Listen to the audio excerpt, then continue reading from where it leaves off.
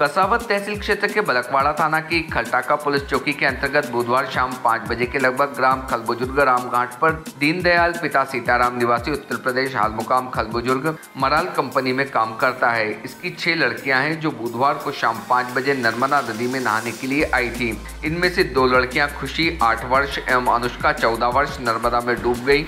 खबर लगते ही आसपास के लोग नर्मदा घाट पहुँचे और गोताखोरों की मदद से खुशी आठ वर्ष को करीब एक घंटे बाद ढूंढ निकाला, लेकिन तब तक उसकी मृत्यु हो चुकी थी। दूसरी बहन अनुष्का की तलाश जारी है, सूचना मिलते ही खलटा का पुलिस प्रशासन मौके पर पहुँच चुकी है। अनुष्का चौदह वर्ष की तलाश जारी है। एएसआई विनोद पाटिल ने बताया कि नहाने के दौरान बच्चियाँ डूबी है, एक बच्ची को निकाल दिया गया है व दूसरी की तलाश जारी है। भारतीय न्यूज़ के लिए खरगोन से रजाक खान की रिपोर्ट। सर कोई डूबने की घटना हुई? क्या कुछ जानकारी?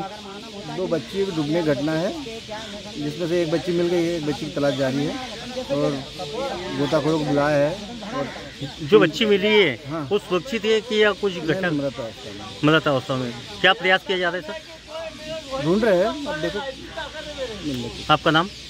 S I Vinod Patil Subscribe now to most exciting channel ever.